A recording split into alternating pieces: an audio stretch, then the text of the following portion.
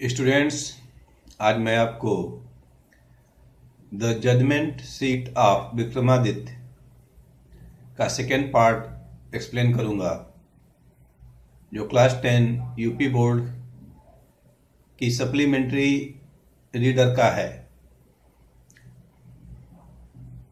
Gradually this news spread through the countryside gradually का अर्थ है धीरे धीरे धीरे धीरे यह समाचार, यह बात या यह घटना पूरे देश में फैल गई। स्प्रेड का अर्थ है फैलना। Grown up men and women from all the villages would bring their dispute in the court of cowherd boy सभी परिपक्व आदमी और औरतें। ग्रोन का अर्थ है परिपक्व।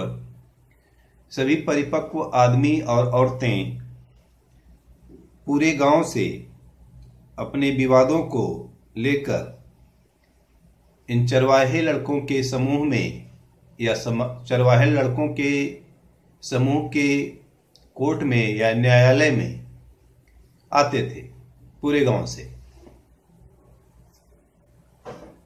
And always they received a judgment that both sides understood and so went away satisfied और हमेशा ही वे लोग ऐसा न्याय प्राप्त करते थे कि दोनों ही पक्ष न्याय को समझ पाता था और उससे संतुष्ट होकर वापस जाता था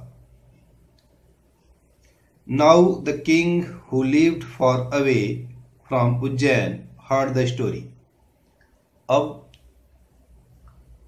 जो राजा था, जो उज्जैन से काफ़ी दूर रहता था, उसने इस पूरी कहानी को सुना। वेल ही सेड उसने कहा अच्छा that boy must have definitely sat on the judgement seat of Vikramaditya उसने कहा अच्छा वह जो लड़का है, निश्चित रूप से विक्रमादित्य की न्याय वाली कुर्सी पर या न्याय वाले सिंहासन पर बैठता होगा। The king's guess was correct राजा का जो अनुमान था, वह सही था। As the ruins about the meadow where once Vikramaditya palace जो खंडहर थे या खंडहर के रूप में जो चारागाह बन गया था, वह कभी विक्रमादित्य का महल हुआ करता था। खंडहर जो चारागाह के रूप में था, वह कभी विक्रमादित्य का महल हुआ करता था। It just sitting on the mound brings wisdom and justice to the shepherd boy it just sitting on the mound बस उस टीले पे बैठना ही उस लड़के के अंदर, उस चरवाहे लड़के के अंदर बुद्धिमानी और न्याय ला देता था। ही थॉट उसने सोचा let's dig deep and find the judgement seat उसने सोचा कि गहराई तक खुदाई की जाए और उससे न्याय की कुर्सी को, न्याय के सिंहासन को प्राप्त किया जाए। I too shall sit on it and hear all the cases मैं भी उस पर बैठूँगा और सभी वाद को, सभी मुकदमे को सुनूँगा। Then the spirit of Vikramaditya will descend upon me as well and I shall always be a just king और तब विक्रमादित्य की आत्मा मेरे अंदर उतर आएगी। और मैं हमेशा ही न्यायी राजा की तरह न्यायी राजा बनूँगा। So with spade and shovels the grassy knoll where where boys played was overturn और फिर फावड़े और कुदाल से स्पेड का अर्थ है फावड़ा और सोवेल्स का अर्थ है कुदाल। और फिर फावड़े और कुदाल से उस घास वाले मैदान पर जहाँ पे लड़के खेला करते थे, उसको उलट दिया गया, खोद दिया गया। The boy who had been self made जज वाज सॉरोफुल लड़का जो स्वयं ही न्यायाधीश बन गया था, वो काफ़ी दुखी था। He felt that something very dear to him was being taken away उसे महसूस हो रहा था कि उसका कुछ खास है जो उससे दूर ले ले जाया जा रहा है, जो उसे छीना जा रहा है। At last the labourers came on some things अंत में मजदूर किसी चीज़ तक पहुँचे खोदते हुए। They uncovered it and found slab of black marble उन लोगों ने उसको अनकवर्ड किया, उसके आवरण को हटाया और पाया कि एक पटिया है काले रंग की संगमरमर की बनी हुई।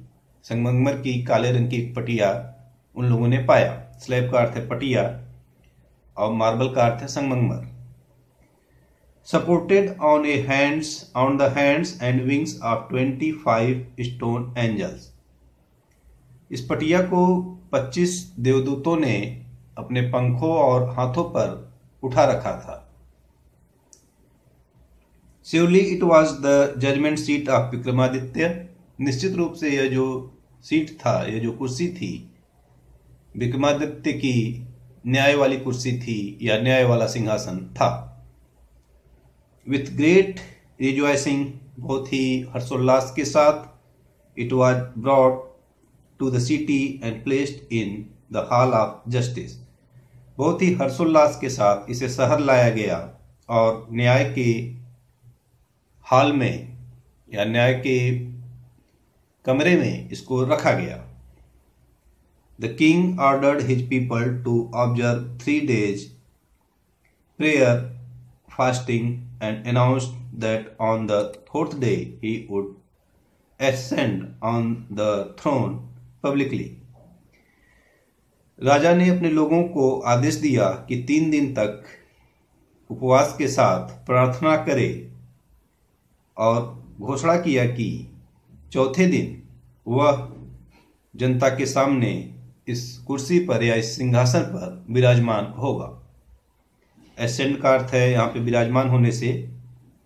फास्टिंग का अर्थ है उपवास प्रेयर का अर्थ है प्रार्थना। At last the great morning came and crowds assemble to see the king take his seat और अंत में वह महान सुबह भी आई। भीड़ एकत्रित हो गई यह देखने के लिए कि राजा सीट पर या सिंहासन पर बैठने वाला है। राजा को सिंहासन पर बैठते हुए देखने के लिए भीड़ जमा हो गई। Walking through the long hall उस बड़े से हॉल से गुजरते हुए उस बड़े से कमरे से गुजरते हुए, कम the जजेज and priest of the kingdom, उस बड़े से हाल से गुजरते हुए न्यायाधीश और पुजारी जो उस राज्य के थे, आए। फॉलोड बाय द किंग, वे लोग राजा के पीछे पीछे आए। Then as they reached the seat of judgement और जब वे सभी उस न्याय के सिंहासन के पास पहुँचे they parted into two rows वे सभी दो पंक्तियों में बदल, बट गए। The king walk up in the middle राजा बीच में आगे बढ़ा। Bowed his head in reverence and went straight to marble slab सम्मान के साथ उसने अपने सिर को झुकाया और सीधा ही उस संगमरमर के पटिया की तरफ़ गया। When the king was about to sit on throne, जब राजा उस सिंहासन पर बैठने ही वाला था। One of the angel began to speak उनमें से एक देवदूत बोलना शुरू कर दिया। स्टॉप इट सेट उसने कहा रुक जाओ। Do you think that you are worthy to sit on the judgement seat of Vikramaditya क्या तुम सोचते हो क्या तुम समझते हो कि तुम विक्रमादित्य के सिंहासन पर बैठने के काबिल हो? You never desired to rule over kingdoms that were are not your own क्या तुमने कभी उन राज्यों पर शासन करने की इच्छा की है जो तुम्हारा नहीं है? For a while the king could not think of an answer कुछ देर के लिए तो राजा जवाब नहीं सोच सका। जवाब ही नहीं सूझा राजा को। He knew his life was unjust वह जानता था कि उसका जो जीवन है न्यायुक्त नहीं है।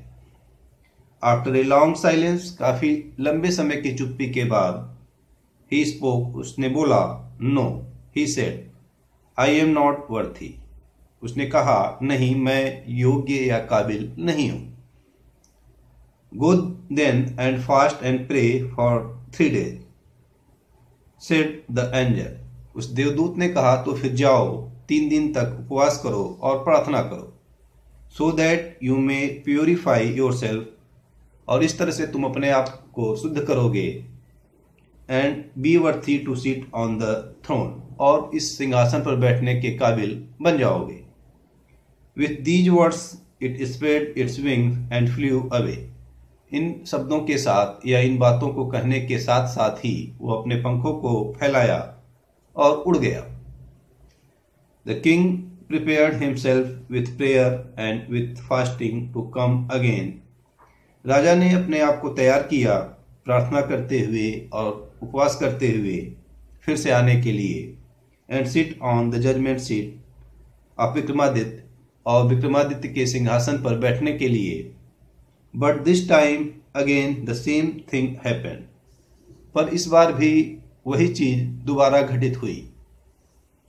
Another stone angel asked him दूसरे पत्थर के देवदूत ने उससे पूछा if he had never desire to possess the riches of others यदि उसने कभी दूसरों के धन को पाने की इच्छा न की हो, लोभ न किया हो तो ही बैठो।